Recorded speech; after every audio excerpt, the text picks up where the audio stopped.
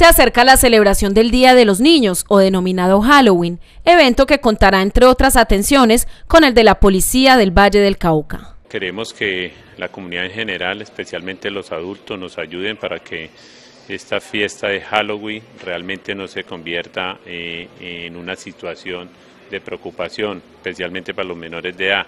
Aunado al apoyo de la comunidad como fuente de información que permita contrarrestar las acciones de la delincuencia, ya que este tipo de fechas son propicias para las personas dedicadas al hurto, no solo de objetos, sino de los menores descuidados por sus padres.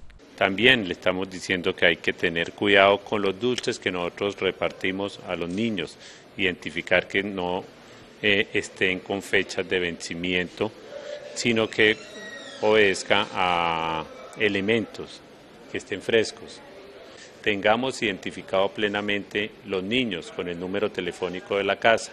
Expliquémosles cómo está identificado un policía, que cualquier situación que se le presente busque rápidamente a un policía y que nos pueda dar la información de dónde está su familia para llevarlo hacia ese destino.